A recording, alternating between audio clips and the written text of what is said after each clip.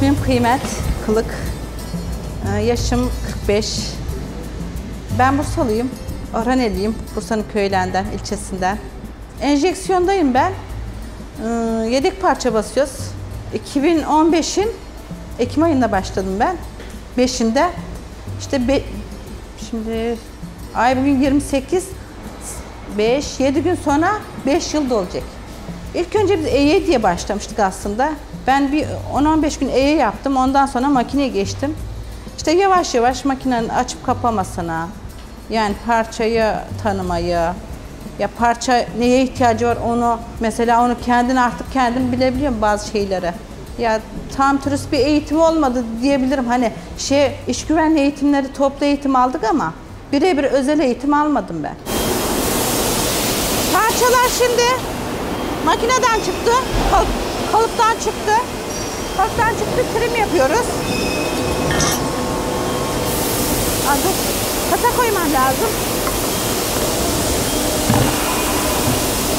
Kan parçalar buraya akıyor çünkü.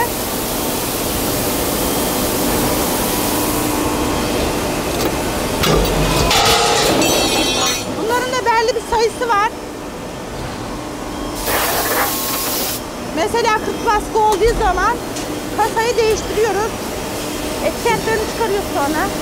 Bütün etiketlerini yapıştırıyoruz. Hangi tarihte olduğu, hangi parça olduğu. O zaman yağlamam gerek beni. Parça kalmaması için arada bir yağ, da, yağ ya da mazot sürüyoruz.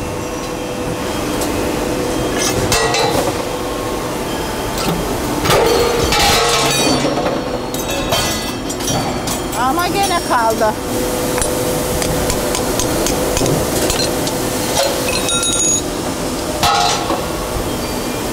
Bir daha hava tutayım.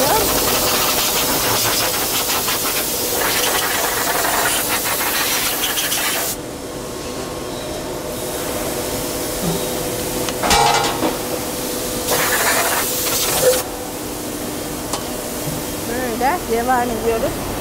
40 baskı olana kadar.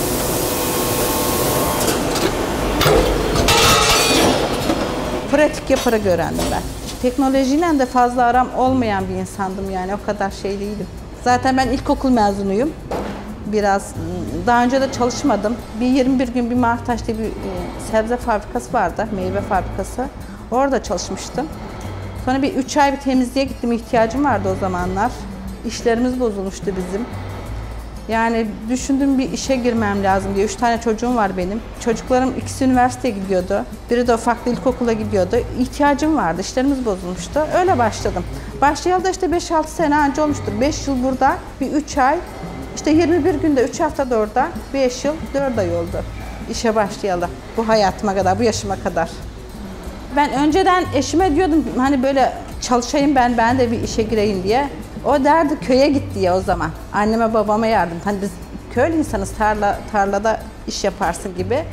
Sonra ama şey yaptı. İhtiyacı olunca mesai kalıyordu. Hani fazla fazla iş yapıyordu ama yetmiyordu.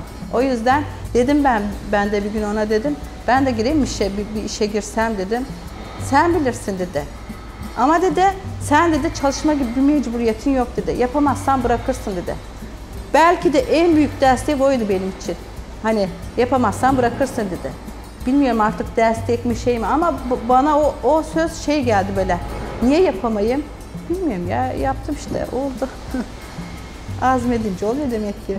Kadınlar daha azimli. Şöyle baktığınız zaman. Ha, erkeğin belki gücü daha fazla ama kadınlar, kadınlar daha azimli. Bence gözlemlediğim kadarıyla. Bir sorun yok. Bize gayet iyi davranıyorlar. Sıcak.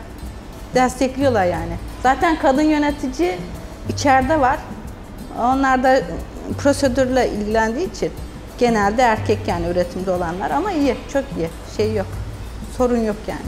Ya elim ayağım tutuyor dedim şimdi evde bekle bekle adam çalışıyor ama yetişmiyor yani. Eşim çal- çalışıyor. Gayet de güzel çalışıyor, ek çalışıyor. Yani mesailere kalıyor ama olmuyor üç tane çocuk. Olmuyor. Öyle başladım yani işe. Çocuğumun ihtiyacını alamayacak olduktan sonra niye evde oturayım buraya? Bizim annelerimiz hala çalışıyor köyde mesela. Şimdi kadın önceden hani kadın çalışmazdı. Biraz şey görülürdü ya. Şimdi E, önceden annelerimiz tarlada çalıştı. Gene çalışıyorlar. Gene kadın çalışıyor. Yani öyle de çalışıyor, böyle de çalışıyor. Burada şartlar bunu getiriyor. Biz de böyle iş yerlerine gidip çalışıyoruz. Yani. Böyle. Ya bu iş sadece biraz fazla pis. Bir de ağır. Yani yapabilecekleri işse zoru sevenler yapabilir bence ama biraz zor olduğu için yani gene onlar da se- seçilir. Her işte olduğu gibi. Ama yapılabilir bir iş yani. Seven için. Ben çok seviyorum mesela.